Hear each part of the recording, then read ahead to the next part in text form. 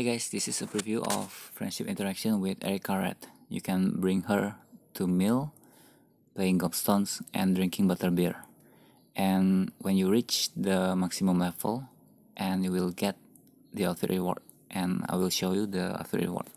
And for this animation, this is a first date animation, and I must credit this to 4chan, but I don't know to who. They take out the model of Erika Rath and use it on the first date here, the first date animation. Okay, enjoy the video and have a nice day guys.